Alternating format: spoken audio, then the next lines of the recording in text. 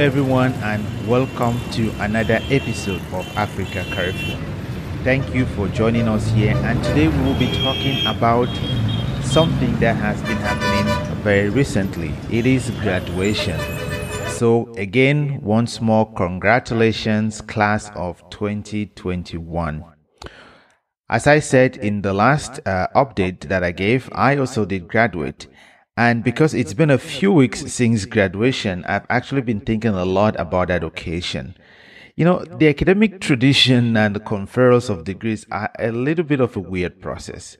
You know, first we all have to dress up in these gowns that make some of us look like clowns and then follow some ancient protocol that dates back to who knows what and when. And you know, typically the university has all this stuff we have to go under these traditions and ways in which we walk in and all whatnot. But one thing about commencement is that they typically have a commencement speaker. Honestly, I don't know why. Um, you know, because people are going into the world, maybe it's one more motivation for them. You know, it works. You know, I mean, everyone sometimes needs to hear a good motivational speaker. But hardly anybody remembers who their commencement speaker was or what they even said. Because as I was reflecting on this back to my graduation as when my as an undergrad, I don't even remember who my commencement speaker was. I hardly even remember anything that happened in that commencement on that day. In fact, as I was preparing for this episode, I had to go back on YouTube to try to watch what happened on that day. And I will be very honest with you, I was shocked. I was shocked at some of the things that were said there, some of the things that were done, because I could hardly remember anything. And just for that fact, it took me back to one of the very first classes I had as an undergrad. And the professor boldly proclaimed and told us there that none of us are going to remember anything about his class in four years' time when we're ready to graduate. And it was true. And but why do we still have commencement speakers? Why do universities still have this, even though many times people forget? I mean, the only thing I can remember from that graduation as an undergrad uh, many years ago was really the party after and the goodbyes that we bade each other as we departed from, you know, to our various corners of the world that we're in right now. So who knows?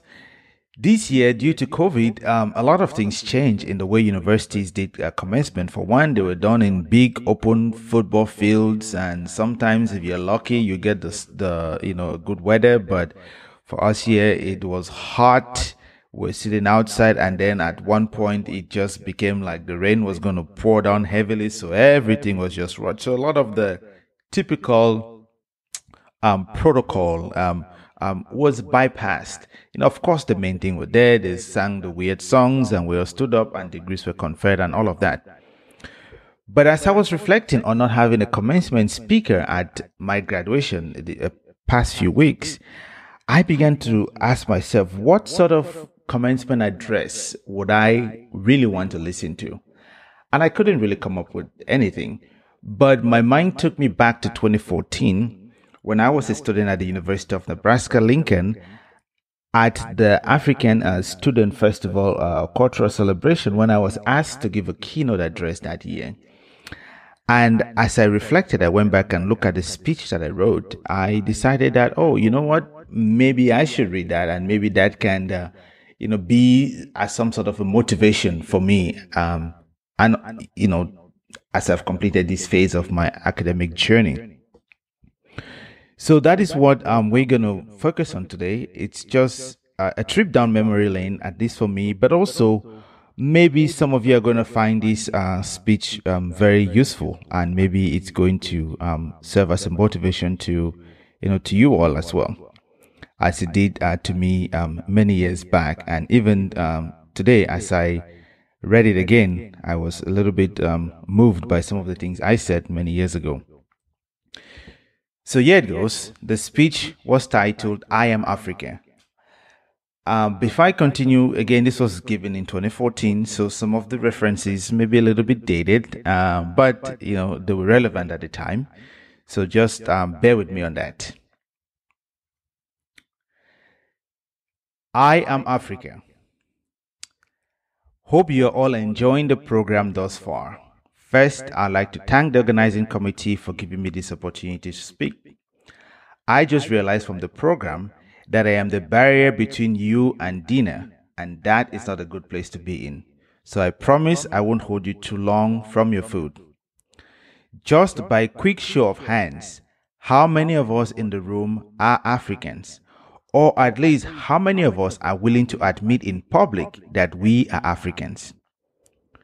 You can now put down your hands. Have you guys noticed? Suddenly, being African is cool. I mean, come on. Haven't you heard of Lupita, Chiwetel Ejiofor, Ngozi you know, Chimamanda, you know, Chris Abani, Samuel Eto'o, Didier Drogba, and the list goes on. It is iconic Africans like these that stand as our most visible continental representation. They make Africa look good. While the media obsession with these icons are great distractions from our political and the problems caused by our eternal leaders, exceptional and rare icons like Mandela don't quite pave the way for a realistic projection of today's young Africans. What does it mean to be African or to be from Africa?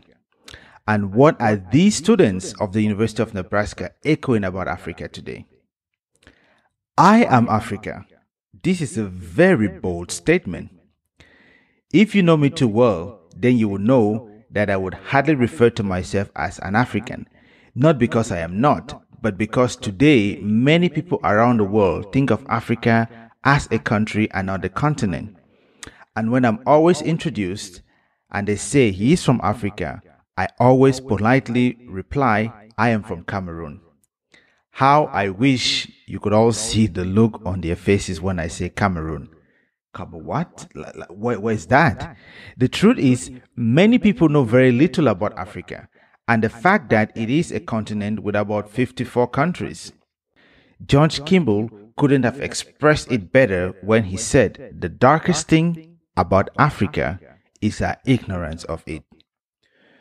But in an occasion as such, I know that none here would challenge the assertion when I say that I am an African, for in fact, I am truly an African.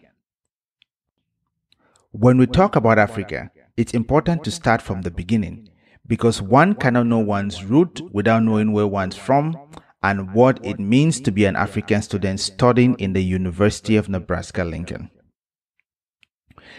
Ever since Kwame Nkrumah in 1957 boldly declared Ghana's independence, wave of change swept across the continent, and by the late 1960s, almost all African countries had gained independence. But the truth is, a vast majority of Africans are still trying to define themselves. Perhaps this is perfectly illustrated in a popular joke around the continent. The story goes of uh, people traveling in a plane, and then a pilot uh, announced and said, Ladies and gentlemen, the plane is losing altitude, and the baggage must be thrown out. A little later, the pilot is said again, saying, We're still losing altitude, we must, you know, throw everything out. And then, you know, as the plane continued to descend, you know, despite everything being thrown out, the pilot announced again, Still going down, we must throw out people. Then there was a big, you know, surprise by, you know, the, the folks in there. And the pilot said, okay, to make it fair, passengers will be thrown out in alphabetical order. So, A is for any Africans. Of course, we all know they're going to start with us. Any African on board, no one moved. B, blacks. Any blacks on board, no one moved. C, colored. Anyone, no one still moved. D, darkies and no one moved. Then a little black Nigerian boy, I'm sorry, we had to use the Nigerian here. A little black Nigerian boy looked at his dad and said, Dad, since we are not Africans, black, colored, or darkies, what are we? To which his dad replied, Tonight, son, we are zombies. As you can see, depending on the circumstance, we have an ever changing identity. But the danger comes in when we let others define for us who we are. I am African not because I have a funny or difficult name, or eat special food with special seasonings, or wear some special material clothes. Because or because I do not have a more exotic story to tell doesn't mean I am not an African. To say that I am African is not simply boast in the rich culture and diversity of our continent and nations, it is sharing the pain of the violent conflicts that the people of Liberia, Somalia, the Sudan, South Sudan, Libya, Nigeria, and Egypt share. That the plight of the laborers from India and China who settled on our native soil is a plight I share. Saying this reminds me of the words of Thabo former South African president who, undoubtedly one of the wisest African politicians of the 21st century, on the occasion of the birth of a new South Africa said, I am born of the people of the continent of Africa. I am formed of the migrants who left Europe to find a new home on our native land. Whatever their own actions, they remain still a part of me. In my vein curses the blood of the Malay slaves who came from the east. My mind and my knowledge of myself is famed by the victories that are the jewels of our African crown. The victories we earn from Inshallah to Khartoum as Ethiopians as the Ashantis of Ghana or the Berbers of the desert. I am he who made it possible to trade in the world market in diamonds, in gold, in the same food for which my stomach yearns. As bold as this may sound, far too long as Africans we have let others define and create for us an identity, and so doing condition our minds to what we can or cannot do. This is perfectly illustrated in the Economist magazine cover that depicted Africa as a hopeless continent. To make it worse, there is a famous picture of Earth by night from space. And if we look at this picture, oh, there we go, it's coming up on the slide. Africa is indeed a dark continent. Things are indeed falling apart, especially when we let others define us. Why do we let others define us when we have so much potential? This illustration from one of my mentors puts things well into perspective. Africans are like elephants in the zoo. The elephant may have all the power to knock down a building and be free from its bondage. But from childhood it has been conditioned to believe it can it can't break the chains or strings even if the chains or strings only exist in its mind. This kind of elephant in the zoo prevents us from achieving our full potential. Perhaps they are right after all. We have leaders who stay in power for too long only to enrich themselves and not care about what is happening to the people they are supposed to serve. Some of our economies will only operate if they get foreign aid which in my opinion is one of the greatest African plague. That's a conversation for a different day. Perhaps they might just as well be wrong. Yes, we might be that elephant in the zoo.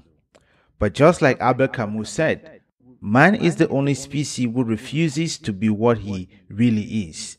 And today it feels good to be African. It feels good to be African because out of necessity, we Africans have realized our limitations and are striving to overcome them. Yes, we can, and we are, because overcoming African problems is solving the problems for the rest of the world at the same time. Now, back to the picture of Earth from space at night. I look at this picture differently because all the places where light is are the places where people are mostly watching TVs and catching up on the latest episode of their favorite shows. How I Met Your Mother, Scandal, and the list goes on. While the rest of the world is taking selfie and trying to understand Facebook privacy settings, Africa and Africans are busy trying to solve the world's problems. Here are just a few examples. Have you heard of Dolos? In 1963, in the South African town of East London, Eric Merrifield watched the storm rip off the harbor of East London. The dolos was invented, a piece of block that is being used in every harbor around the world now as a breakwater. The global shipping economy will not be possible without this African technology. What about pay as you go? Did you know pay as you go is an African technology that was coined by Vodacom and is being used as one of the most dominant forces of economic activity in the world? It is reported that about $25 million is being transacted daily on this. You're probably wondering how. We have also found ways to make available technologies to send money, the M-Pesa in Kenya. This has been used to do everything, pay school fees, exchange money, and even used to bribe, you know, law enforcement. We have even taken a step further in Ghana to check on to check on validity of medicines. This is very important in this part of the world where fake medicine is um, is being sold on every corner. Where you can take the barcode of a medical drug, you know, send it through a text, and it is automatically verified with a message back to you if that is a good drug or if it's fake. You don't have clean water or no water at all, no problem we have that covered too. It's amazing what a young boy on a beach in Limpopo wouldn't want to take a shower can come up with. How about taking a bath without water? This is the dream of Ludwick Marishane. He did this trying to save water, but in the end provided a much needed solution to more than half of the world's population. Do you know that about 2.5 billion people live on this planet without proper sanitation? About 1 billion do not have access to clean water, and more than 345 million people have no access to water at all. You know what's even amazing about this boy? He did all of this with only a high school chemistry knowledge and using his phone, the internet from his phone, no fancy laptop or a multi million dollar lab. On top of that, he had no money. He only had $5 allowance a week. In 2011, he was the first African to win the Global Student Entrepreneur of the Year. How about no electricity? Young Malawian William Kamkwamba had big dreams of revealing his family from poverty. He didn't need a fancy engineering lab or tools to realize his dream. Using old bicycle parts, to make a windmill and discovered electricity for his family business and village, creating currents of electricity and hope. I was privileged to visit the Apartheid Museum in South Africa this January. One of the newest additions to this museum is the Nelson Mandela Wing, chronicling the life of this great hero and his fight for the birth of a new South Africa, the Rainbow Nation. As you walk out the doors, you immediately see a wall inscribed on it with these words of Mandela The future is in your hands. So today, African students of the University of Nebraska Lincoln, I ask you, what are your limitations? What are you doing? Have you recognized your limitations? Your continent and country needs you. Nobody can fight for us except we ourselves. Just like Ngozi Okonjo-Iweala, Nigeria's finance minister, said, it will be very easy for me to sit at the World Bank and earn a nice salary and criticize. However, I gave up a comfortable career to come here and do my bit because I recognize that nobody but us can clean up our mess. The future is in your hands, students. We need you to write a new chapter of our history and lead us into a future that our parents could only dream of existing. I challenge you to use the world to figure it out.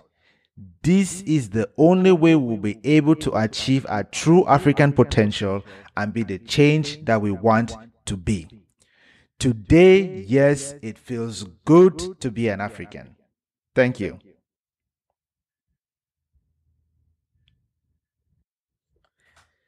There you have it, class of 2021. I hope that as you have graduated now and are facing the world, that you are facing the world knowing or going in fully prepared to take it over. Your continent and your country needs you. I can't stress this enough. No one, I mean, absolutely no one can clean up our mess except we ourselves. So I hope that as you go out there and you achieve great things, that you will remember where you're from and that you remember that there is a continent and a people waiting for you to come back. Until next time, thank you for joining us at the Carrefour